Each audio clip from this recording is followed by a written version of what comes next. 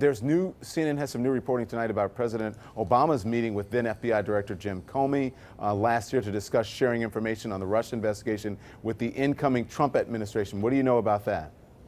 Don, this is pretty interesting. This is about a meeting that happened on January 5th 2017, so some 15 days or so before President Trump was sworn into office. And this was a meeting that uh, President Obama at the time was having with the FBI Director James Comey.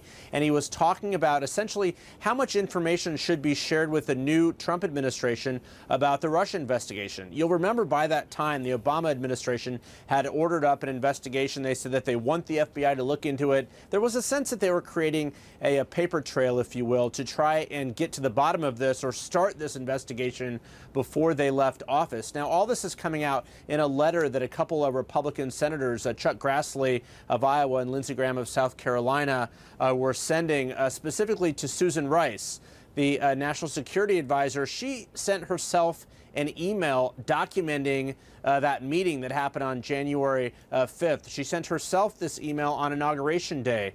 A bit in the weeds here, Don, but the point is uh, that the Obama administration was uh, was urging the FBI and others to follow this uh, investigation by the book. So that again is putting on uh, the boards, if you will, the fact that this investigation was going on.